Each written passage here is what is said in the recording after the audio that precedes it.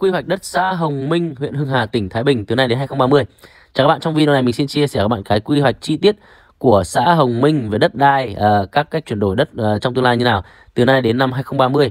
Rồi, ờ, dựa vào các cái thông tin này thì mình tin rằng các bạn sẽ có các kế hoạch đầu tư đất làm sao một cách chính xác nhất giúp mình có cái lợi nhuận cao nhất.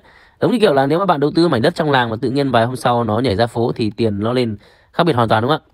Vâng và đây một phần mềm mất tiền cho nên nếu các bạn à, thấy video giá trị ý nghĩa thì à, xin các bạn cho mình một đăng ký kênh nhé để mình à, có động lực làm tiếp. và các bạn muốn xem chính xác vị trí nào hay xã nào khu vực nào thì gửi cho mình định vị inbox cho mình thì mình sẽ làm chi tiết video hướng dẫn chia sẻ cho bạn cái quy hoạch ở đất ở khu đó nhé. Vâng và một cái đáng chú ý nhất của xã Hồng Minh ở đây thì mình thấy có một cái khu vực rất là hay đây đó chính là cái bãi ở bờ sông này nha này. Thì theo thông tin mình không nhầm thì trong tương lai đây sẽ được quy hoạch là sân gốp nhá. Đây khu vực này này. Đây, chỗ ờ, từ cầu Tịnh Xuyên từ phía Vũ Thư đi qua cầu Tịnh Xuyên thì nó nằm bên tay phải đấy, rẽ phải xuống. Thì chỗ vật liệu xây dựng Hồng Phong này, đây cả một cánh đồng một bãi bồi này. Sau này nó sẽ được quy hoạch theo mình nghĩ ờ, theo mình uh, theo quan điểm của mình thì sau này nó sẽ được quy hoạch đây. Đây là đất thể thao thì mình nghĩ sau này nó sẽ là sân gốc ở đây này. Và mình thấy một số dự án quy hoạch sân gốc ở Hồng Minh rồi. Và Hồng Minh cũng là một chỗ rất là gần giữa các tỉnh Hà Nam, Hà Nội, Thái Bình, Nam Định này, Hải Dương này, Hưng Yên này thì từ các tỉnh này họ về đây họ đánh gốp thì cũng rất là tuyệt vời đúng không em vậy cho nên mình nghĩ rằng là trong tương lai gần thôi sẽ có một sân gốp rất là đẹp được uh, xây dựng tại đây thì sẽ mở ra một tiềm năng phát triển kinh tế rất là lớn cho xã Hồng Minh nói riêng và huyện Hưng Hà tỉnh Thái Bình nói chung nhé Vâng, đây chính là sân gốp mà mình xem xem soi lại kỹ này. Đây là hiện trạng này. Chỗ chạy bò Hòa Phát sau này nó sẽ san phẳng hết em ạ và biến thành sân gốp nhá. Đây một phần đất ở bên xã Chí Hòa nữa, cũng là sân gốp ở đây nha, DTT này, đất thể thao. Đây, hiện trạng đây.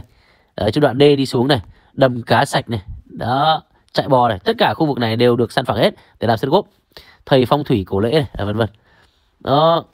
À, về đường xá thì à, tạm thời bây giờ tôi chưa thấy con đường nào to được làm à, được làm mới đây.